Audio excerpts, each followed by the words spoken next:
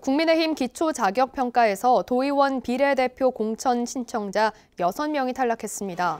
국민의힘 제주도당은 지난 17일 실시한 기초자격평가에서 도의원 비례대표 응시자 17명 가운데 70점 미만인 6명이 탈락했다고 밝혔습니다. 자격평가를 통과한 비례대표 후보자들은 서류와 면접 등을 거쳐 순번이 부여되고 지역구 도의원들의 평가 점수는 공천심사에 반영됩니다.